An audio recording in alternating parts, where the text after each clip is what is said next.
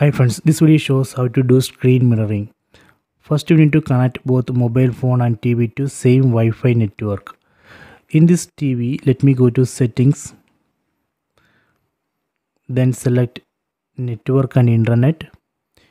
You can see this TV is connected to Wi-Fi network FTTH DAA1. So in mobile phone, let me go to settings, tap on the settings app icon. Then tap on network or internet. You can see this mobile phone also connected to same Wi-Fi network FTTH DAA1 then in TV again go to settings.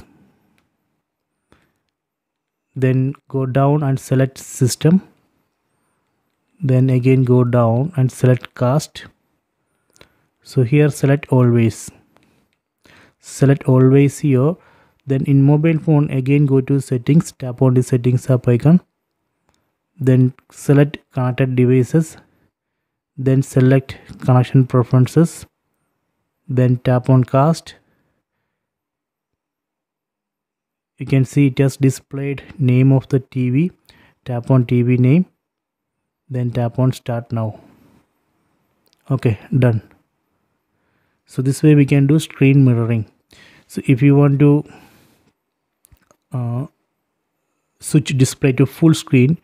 You can enable screen rotation in mobile phone then just rotate the phone. So that way we can switch display to full screen in TV so if you want to disconnect again go to cast then tap on TV name then tap on disconnect.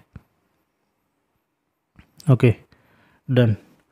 So i hope you have enjoyed this video. Please subscribe my channel. Please like and share the video